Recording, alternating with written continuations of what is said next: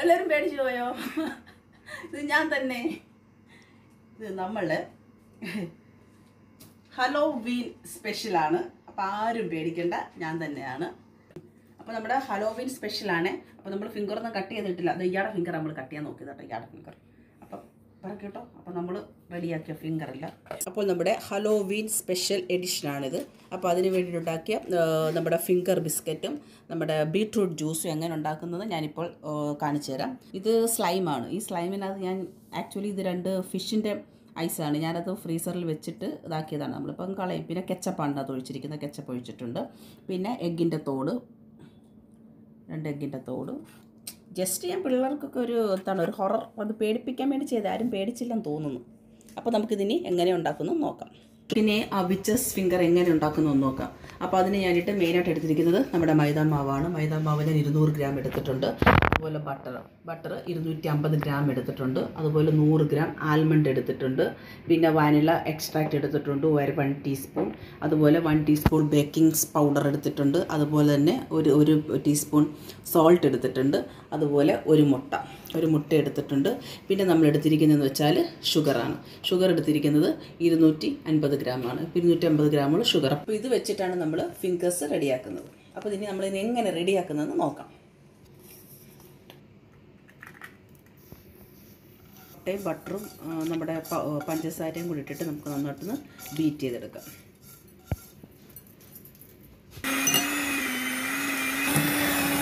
നമുക്കിതിലൂടെ നമ്മുടെ baking powder ചേർത്ത് കൊടുക്കാം.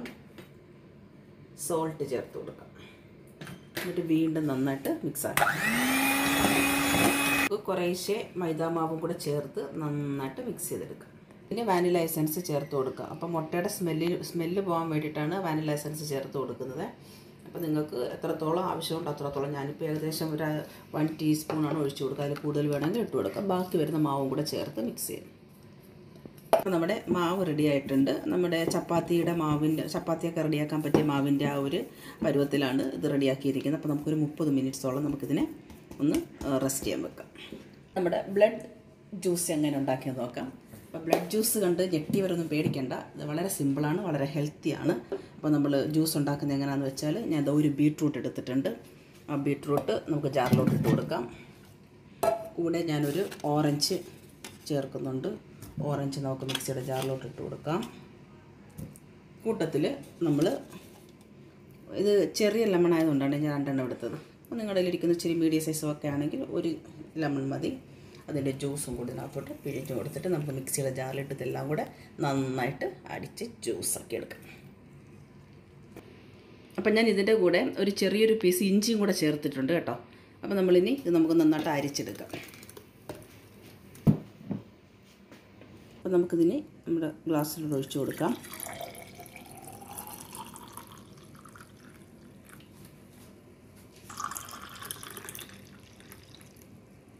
അതുകൊണ്ട് ഐസ് ക്യൂബ്സ് ഇട്ട് കൊടുക്കാം. പിന്നെ നമ്മൾ ഇട്ട് കൊടുക്കാൻ പോകുന്നത് ഒന്നോ രണ്ടോ മിന്റ് ലീവ്സും കൂടെയാണ്. വളരെ ഹെൽത്തി ആയിട്ടുള്ളൊരു ജ്യൂസാണ്. നമ്മുടെ ക്യാരറ്റ് പിന്നെ ബീട്രൂട്ട് എല്ലാവർക്കും അറിയാമല്ലോ ബീട്രൂട്ട് ബീട്രൂട്ട് എത്രത്തോളം നമുക്ക് ഹെൽത്തിയാണ് ബീട്രൂട്ട് അടങ്ങിയിട്ടുണ്ട്. നമ്മുടെ വൈറ്റമിൻസ് ധാരാളമുള്ള നമ്മുടെ ഓറഞ്ച് എല്ലാം കൂടെ ചേർന്നിട്ടുണ്ടാണ് മിന്നിന്റെ ഒരു ടേസ്റ്റ് കൂടെ വളരെ ടേസ്റ്റി ഹെൽത്തി ആയിട്ടുള്ള ജ്യൂസാണ് അപ്പോൾ ഇതെല്ലാം ട്രൈ ചെയ്ത് നോക്കണേ. ഇനി നമ്മുടെ ഫിംഗേഴ്സ് റെഡിയാക്കാം അപ്പോൾ ആദ്യം നമ്മൾ നമ്മൾ ഇന്നലെ റെഡി റെഡിയാക്കി വെച്ചിരുന്ന ആ മാവ് എടുത്തിട്ടുണ്ട്.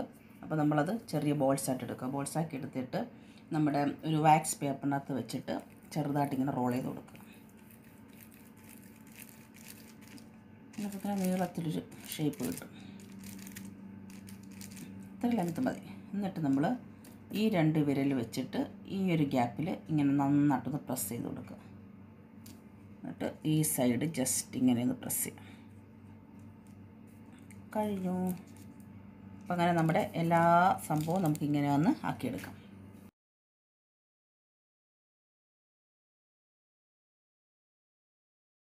നമ്മൾ അല്പം ഷാർപ്പായിട്ടുള്ള ഷാർപ്പ് എന്ന് വെച്ചാൽ മീൻസ് ഒരു ഇതുള്ള ഒരു കത്തി എല്ലാം എടുത്തിട്ട് ഇതിന് ചെ അടുപ്പിച്ചതായി ഇങ്ങനെ ചെറുതായിട്ട് മൂന്ന് വെട്ട്. അതുപോലെ ഈ സൈഡിലും മൂന്ന് മാർക്ക് കൊടുക്കുക അപ്പോൾ ശരിക്കും നമ്മുടെ ഫിംഗേഴ്സുമായിട്ട് സാമ്യം തോന്നിക്കാൻ വേണ്ടിയിട്ടാണ്. നമ്മുടെ ഫിംഗേഴ്സ് നോക്കുമ്പോൾ പറയാൻ ലൈൻസാണ് ഉദ്ദേശിക്കുന്നത്.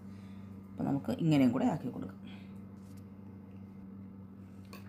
ആയിട്ടുള്ളൂ നമുക്കിനി നെയിൽ വേണ്ടേ? അപ്പോൾ നമ്മൾ നെയിൽ വെക്കാൻ വേണ്ടിയിട്ട് അതിന്റെ ഏതെങ്കിലും ഒരു സൈഡ് നമ്മളിപ്പോൾ ലൈൻ ചെയ്തുകൊണ്ട് അവിടെ എടുക്കേണ്ട. ലൈൻ ചെയ്യാത്ത പോർഷനിൽ നമ്മുടെ ആൽമണ്ട് ആൽമണ്ട് നമുക്കറിയാമല്ലോ ഒരു ഷാർപ്പായിട്ട് നിൽക്കുന്ന പോർഷൻ വെളി വരത്തക്ക രീതിയിൽ കുറച്ച് ഇറക്കി വെച്ചുകൊണ്ട് ഇങ്ങനെ പ്രസ് ചെയ്യുക പ്രസ് ചെയ്തിട്ട് നന്നായിട്ട് ഷേപ്പാക്കി കൊടുക്കുക.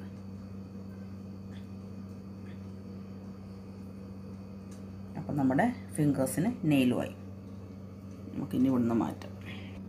അപ്പോൾ നമ്മുടെ ഫിംഗേഴ്സ് എല്ലാം റെഡി ആയിട്ടുണ്ട്. നമുക്കിനി ഇത് ഒരു വൺ സിക്സ്റ്റി ഡിഗ്രി സെൽഷ്യസിൽ ഒരു ട്വന്റി ട്വന്റി ഫൈവ് മിനിറ്റ്സ് നമുക്കിതൊന്ന് ബേക്ക് ചെയ്തെടുക്കാം.